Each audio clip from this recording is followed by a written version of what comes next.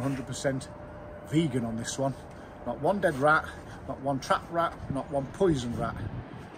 This is vegan pest control at its best. Rats coming out this hole here, loads of other holes on this pub. Uh, it's a beautiful clean pub. Regulars have been noticing rats running around, especially on the night time. Now, the first thing that people always say to us is like, can you come out and put some poison down? No, no we can't, because we get to the root cause, and the root cause of this, I think we'll find, if you follow me, Rick, pop this manhole open, and that's not how it should look, is it?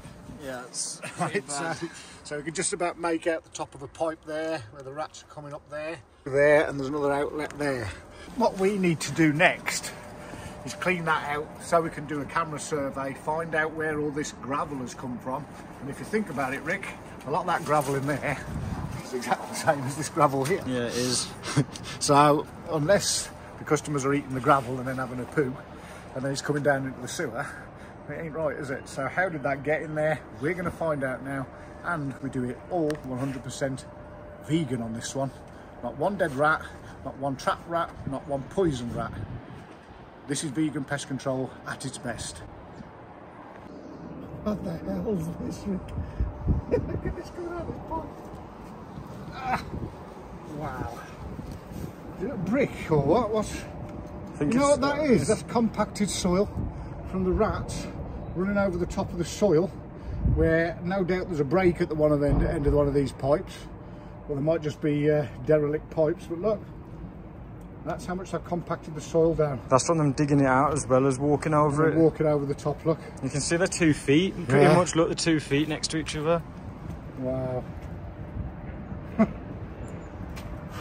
We've done, that's been down there for 200 years. Not much longer now. So what we've done, just while we get the go ahead to do what we need to do to make this, so no rats need to be killed, no, re- no rats need to be poisoned. And what we'll be doing is we'll be fitting a rat flap in this manhole right here.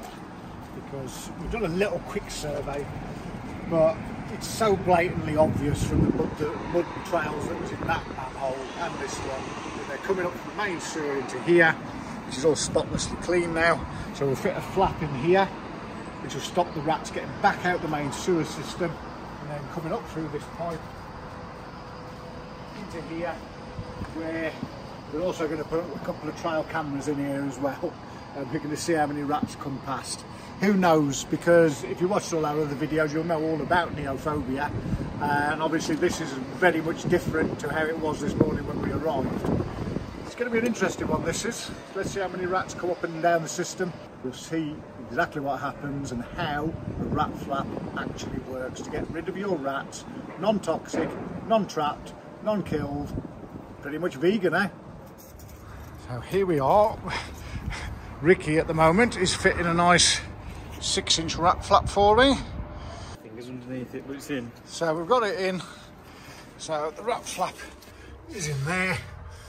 And as you've seen off the footage we've already had off the trail cams, you're going to see now, hopefully, what happens when the rats, we might even see some rats from above ground going back through holes that they've had, they've had for years and years. And they'll go back into the sewer system, they'll come through the flap, they'll go down that pipe into the main sewer for din dins, get some sweet corn down them. And then when they come to come back out, they won't be able to. Let's hope the trail cams work. If not, you'll just have to take my word for it. And this is how you do vegan pest control. Not the hair on the head of one rat will be harmed in all of this process. They just have to go and stay where they belong, down in the main sewer, and not out there terrorising the people of this pub. Is a vegan approach to getting rid of a rat infestation actually realistic? Well, it certainly doesn't make life easy, but it is something with the right amount of knowledge, experience that can be done. You really need to know your stuff though. Luckily for you, the pest interceptors have many years of experience with all matters rat. Non-lethal rat control is not an easy ta- task. It's a highly skilled job that can only be done by those with the correct skills, equipment and knowledge.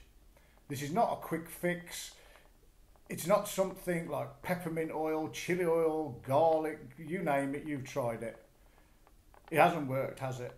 Maybe you need to go to the link that's on the end of this video and take a look at our vegan friendly rat control page. Let's stop hurting rats. Let's stop killing rats just for the sake of killing them. Take a look at the link on the end of here and there might be a link for some other videos as well if you'd like to watch them. This rat's absolute beauty, isn't it? It's only a juvenile, but he's very inquisitive and now he can't get back out and terrorise the people of this pub, which is brilliant. Our vegan version of our rat-free lifetime guarantee means that we will not harm any rats, any animals whatsoever in this process.